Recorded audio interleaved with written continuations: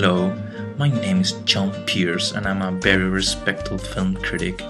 I have written for Cahiers du Cinema, Rouge, and the New York Times. I forgot to mention that I'm gay and I like Latino men. My whole life I have been fascinated by Latin America. I love coffee, salsa, and military dictatorships. Last Monday, I received a DVD of a highly recommended film. The name of the film was Special Effects, and it came from a very far country whose name I don't remember now. According to my straight film loving friend, this film was a masterpiece of Latin American independent cinema. I was told it only cost 100 bucks. The performances were brilliant and the end was magnificent. So I sat down in my IKEA armchair, turned on the TV and pressed play. My verdict is the following.